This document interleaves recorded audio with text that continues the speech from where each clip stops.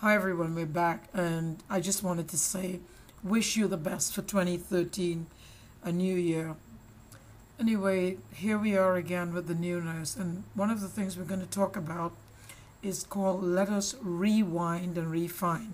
And what this will involve is we're now going to celebrate our 100th video, and we're going to take the trouble to go back and rewind the old videos and refine things of importance that can help you because we've got so many videos you may not even know where to start.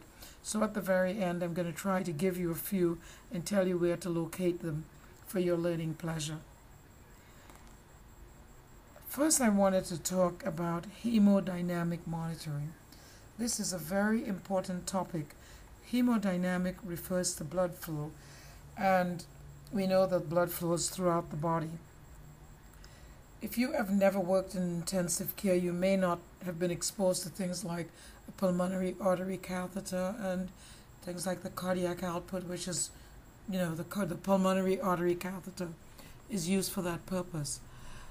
And we do have a video called hemodynamic monitoring, especially for the new nurse, which will help you understand the purpose of hemodynamic monitoring what exactly happens with blood flow.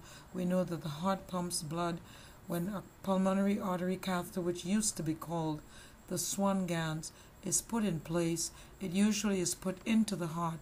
The doctor inserts it through the chambers and it reads the different pressures. It even allows the doctor to know if the lungs are have you know filling up with too much fluid. Take the time to look at uh, hemodynamic monitoring the new nurse at dearnurses.org. This will be very helpful for you. Another topic I wanted to address, please excuse my voice, is um, two common signs which we find in patients who have brain injuries like subarachnoid hemorrhage and meningitis. They're called, one's Brudzinski's, the other's Kernig's.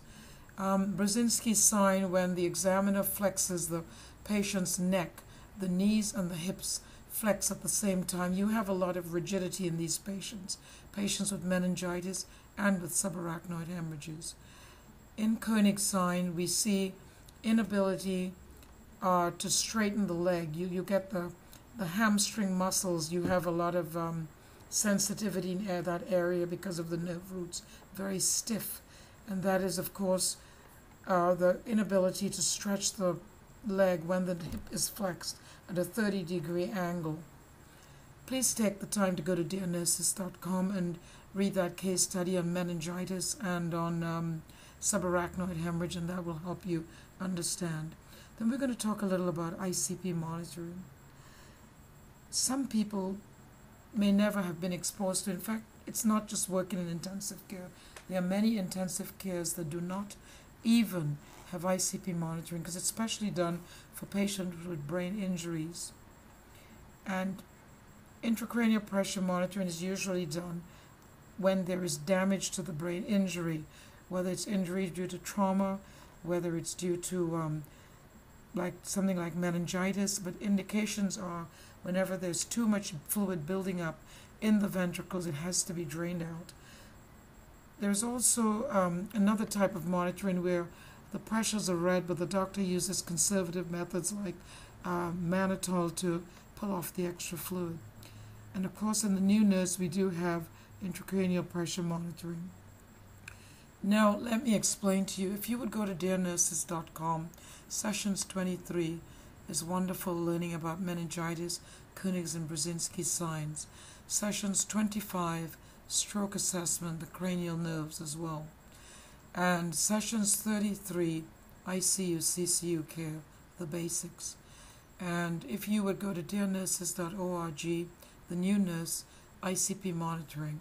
And these topics I've brought up to you because it seems like there is a great need for information on these topics.